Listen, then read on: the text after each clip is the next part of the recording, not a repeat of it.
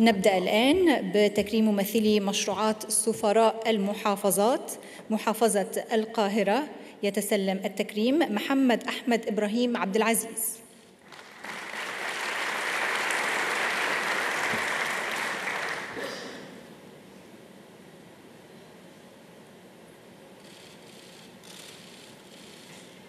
محافظة الجيزة. يتسلم التكريم دنيا إبراهيم السعيد.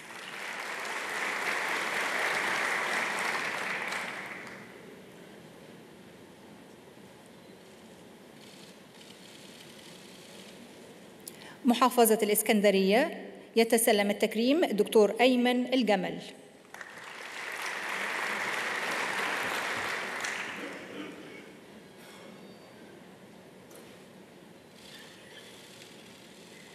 محافظة أسوان يتسلم التكريم إياد إسلام الإمام.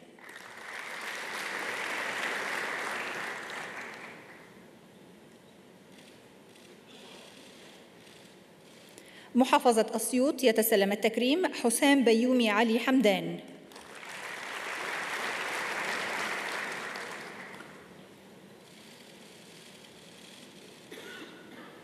محافظة البحيرة يتسلم التكريم سيف الدين محمد سلامة.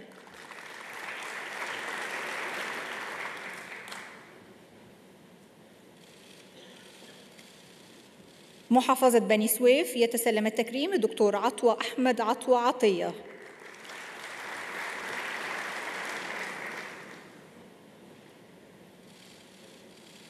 محافظة الدقهلية يتسلم التكريم دكتور هشام محمد عمر شريف.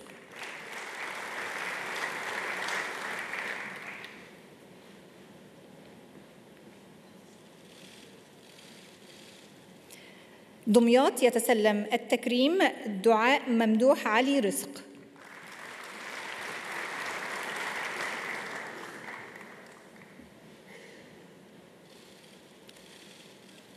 الفيوم تتسلم التكريم دكتورة مروة أحمد محمد عبد الحليم.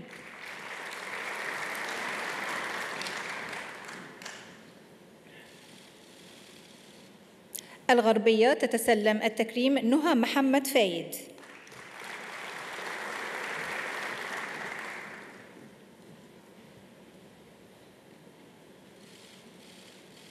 الإسماعيلية يتسلم التكريم سعيد موسى إبراهيم موسى عبادة.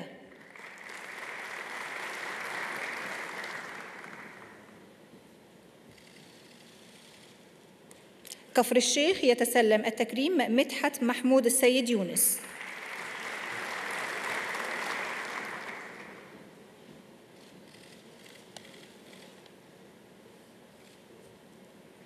الأقصر يتسلم التكريم محمد زكريا الأمير.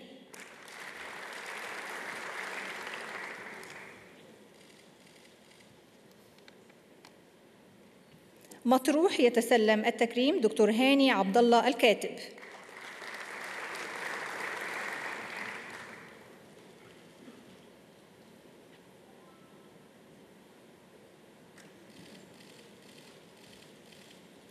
المنيا يتسلم التكريم مصطفى محمود إسماعيل أحمد.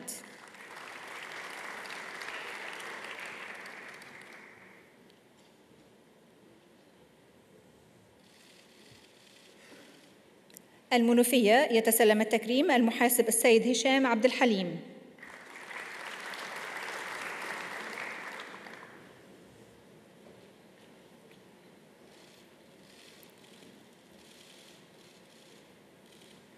الوادي الجديد يتسلم التكريم محمد عبد العزيز محمد الدمرداش.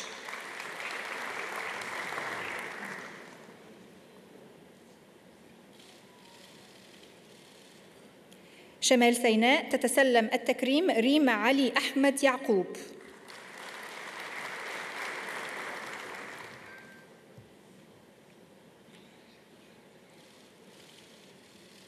بورسعيد تتسلم التكريم المهندسة أمل حامد محمد عبد السلام.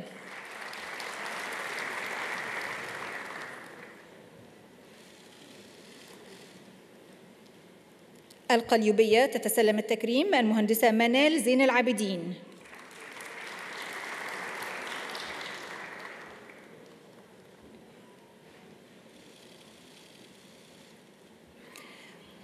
من قنا يتسلم التكريم دكتور وليد عبد الرحيم.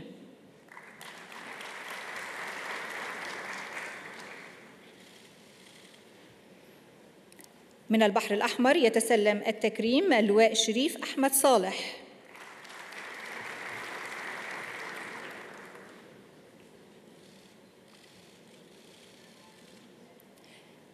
ومن الشرقية يتسلم التكريم مصطفى عبد الرحمن مصطفى.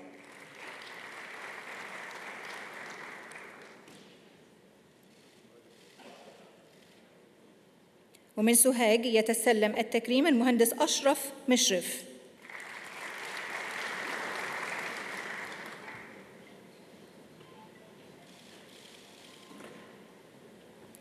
من جنوب سيناء يتسلم التكريم اللواء خالد متولي.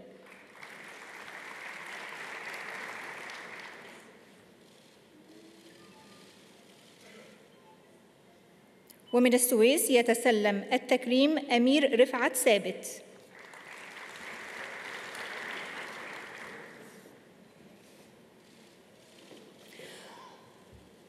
والآن مع اللحظة التي طال انتظارها والمشروعات الخضراء الذكية الفائزة على مستوى الجمهورية بواقع ثلاث مشروعات من كل فئة من الفئات الستة.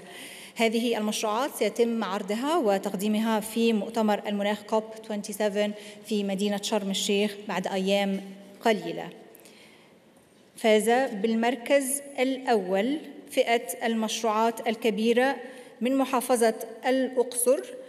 المشروع هو بنك المخلفات المصري عطاء جاد الكريم محمود عثمان.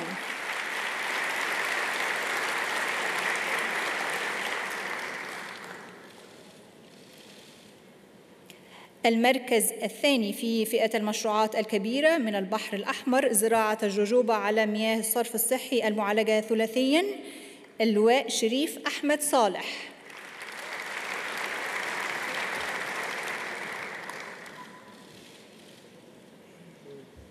والمركز الثالث في نفس الفئة المشروعات الكبيرة محافظة دمياط مشروع ميناء بحري للصيد بعزبة البرج دعاء ممدوح رزق.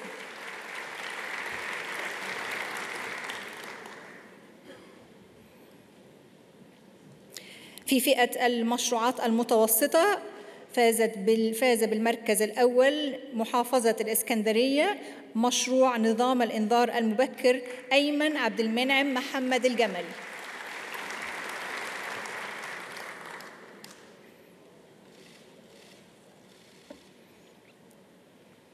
وفي المركز الثاني في نفس الفئة المشروعات المتوسطة محافظة الوادي الجديد مشروع القرية الزراعية المستدامة سيف شركة إنجازات لمواجهة معضلة المياه الغذاء والطاقة وفاز بها محمد عبد العزيز محمد الدمرداش.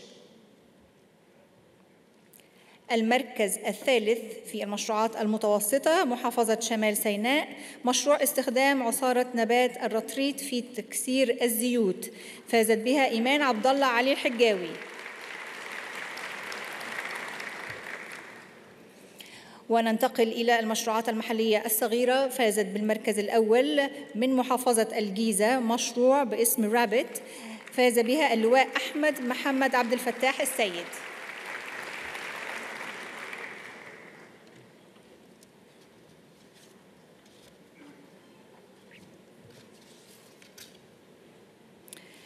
والمركز الثاني المشروعات المحلية الصغيرة من محافظة قنا زراعة بدون تربة بنظام HP ايروبونيك لواء أشرف غريب الداودي.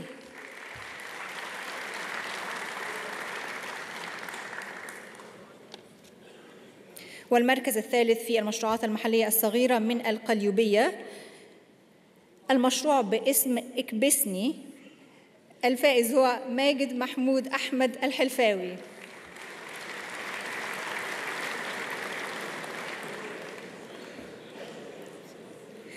وفي فئات المشروعات غير الهادفة فاز بالمركز الأول من الإسماعيلية مشروع نظام إنذار ذكي بتقنية النانو للسيطرة والكشف المبكر عن سوسة النخيل الحمراء السيد عويس عمران عبيد.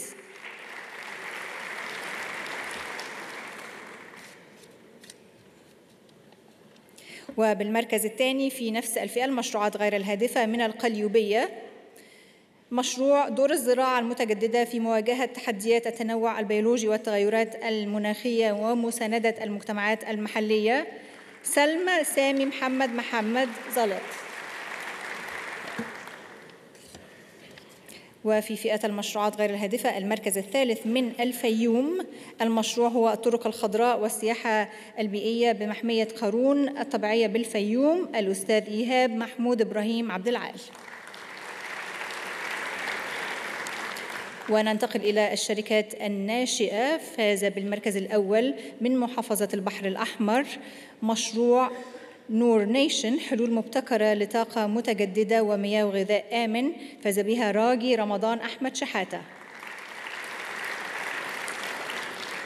والمركز الثاني في نفس الفئة الشركات الناشئة من الإسكندرية مشروع بعنوان روبوت إزالة المخلفات والزيوت من البحار فاز بها سيف الدين أحمد مختار. وأخيرا في الفئة الشركات الناشئة في المركز الثالث من مطروح مشروع المباني الخضراء المستدامة فاز بها محمد خلف صادق أحمد. وأخيرا وليس اخرا ننتقل إلى مشروعات المرأة وفازت بالمركز الأول من الإسكندرية مشروع بعنوان تصميم قاطع ثلاثي الأبعاد من إعادة تدوير النفايات الإلكترونية منى رفعت طمان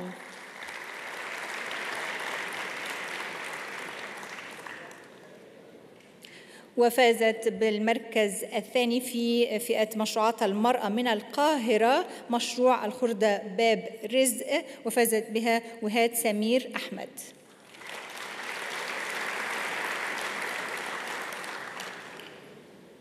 وكان المركز الثالث في مشروعات المرأة من نصيب مشروع مبادرة صاحبات اليد الذهبية من الفيوم وتذهب إلى سمر سعيد معوض.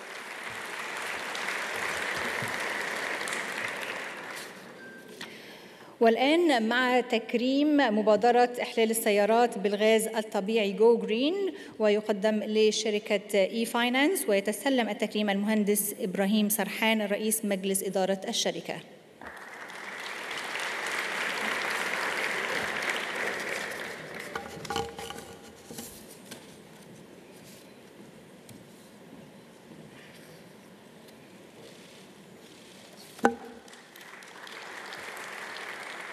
كما نشهد اليوم إطلاق مبادرة القرية الخضراء والتي تستهدف تأهيل قرى المبادرة الرئاسية حياة كريمة للتوافق مع إحداث المعايير البيئية العالمية بشراكة بين وزارة التخطيط والتنمية الاقتصادية والمحافظات وشركة اي كونسلت للاستشارات البيئية والجمعية المصرية للأبنية الخضراء كجهة تقييم مستقلة حيث تم تحديد مجموعة من المعايير الموضوعية لاختيار إحدى القرى التي يمكن تنفيذ المبادرة بها.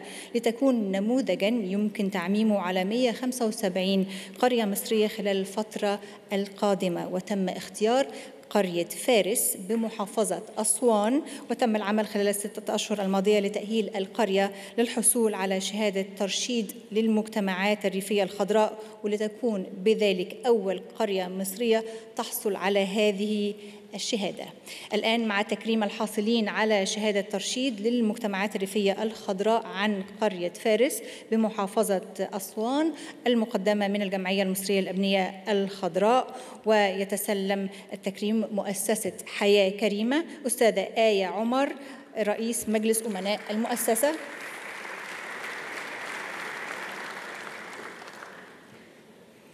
شركة إي كونسلت وتتسلمها المهندسة سارة البطوطي رئيس مجلس إدارة الشركة.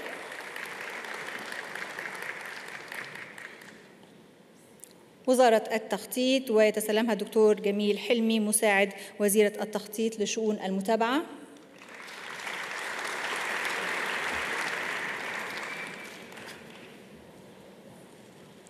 ومحافظة أسوان ويتسلم التكريم محافظ أسوان اللواء أشرف عطية.